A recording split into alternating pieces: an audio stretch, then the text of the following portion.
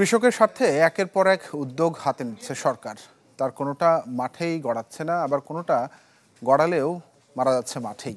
এমনই এক প্রকল্পে কপাল পুড়েছে চাঁপাইনবাবগঞ্জের পেঁয়াজ চাষিদের। ফলন বাড়াতে বীজ সহ নগদ অর্থ প্রণোদনা দেওয়া হলেও বিএডিসির বিতরণ করা বীজ থেকে আসেনি কোনো ফলন। নয় হয়েছে কৃষকের জন্য বরাদ্দ দেওয়া প্রণোদনার টাকা বিতরণেও। কৃষকদের এমন অভিযোগের বিপরীতে কোনো সদুত্তর মেলেনি কৃষি কর্মকর্তাদের কাছ থেকে। আনোয়ার হোসেনের তথ্য এবং ছবিতে ডেস্ক রিপোর্ট। অ্যান্টিঅক্সিডেন্ট ও ফ্লেভোনয়েড সমৃদ্ধ ফ্রেশ প্রিমিয়াম টি এক কাপে কাঁপিয়ে দিন। গাছ আছে কিন্তু গোড়ায় নেই কোনো পেঁয়াজ। ফলে কপাল পুড়েছে চাঁপাইনবাবগঞ্জের কৃষকদের।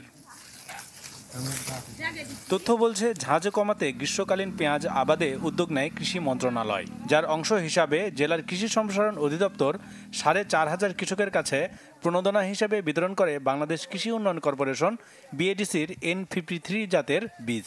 লাভের আশায় কৃষকরাও বেশ উৎসাহে এসব বীজ বপন করেন জমিতে।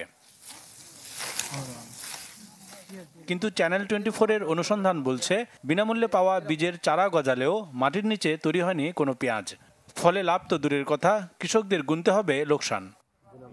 কৃষি বিভাগ যে আমরা এই এইটা দিল বীজটা চাষ করুন চাষ তো হইল না এটা মারা গেল। দেখ হাতিটা কে দিবে পূরণ কৃষি বিভাগের অনিয়মের কারণে সরকারের মূল উদ্দেশ্য লক্ষ্য উদ্দেশ্যটা পূরণ করতে পারা যাবে না।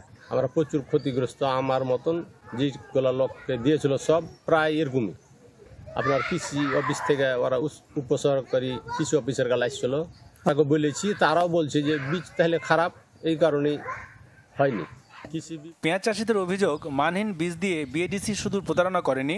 প্রণোদনার নগদ বরাদ্দ দুই হাজার আটশো টাকা করে মোট এক কোটি ছাব্বিশ লাখ টাকা না দিয়ে উল্টো ক্ষতিগ্রস্ত কৃষকদের কাটা ঘায়ে নুনের ছিটা দিয়েছেন চাঁপাইনবাবগঞ্জ কৃষি সম্প্রসারণ অধিদপ্তরের উপপরিচালকও। কিন্তু যে টাকাটা পাওনার কথা ছিল এখন পর্যন্ত টাকাটা পাই নাই আমরা। টাকা যদি না পাই তা আমরা তো কীভাবে আর চাষ করে আগাবো? সরকার কৃষকের স্বার্থে প্রণোদনা দিয়েছে তো প্রণোদনা দিয়েছে তো কি কৃষকের প্রাপ্তটা দিচ্ছে না কেন? কেন কৃষক টাকা পাবে না খো? বারবার আমাদের সাথে এভাবে প্রতারণা করছে।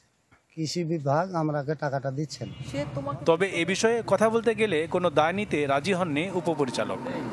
এই বছর যেহেতু ভালো হয়েছে অনেকে ইন্টারেস্টেড হয়েছে তারা শিখতেছে একটা নতুন টেকনোলজি গ্রীষ্মকালীন পেঁয়াজ করা কিন্তু নতুন টেকনোলজি ঠিক আছে? না আমি এই সম্বন্ধে বলব না কারণ আমার কাছে কোনো নেগেটিভ রিপোর্ট নেই।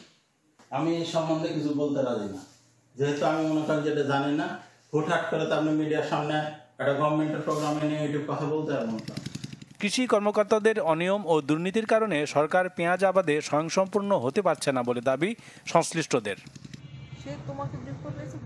Desk report channel twenty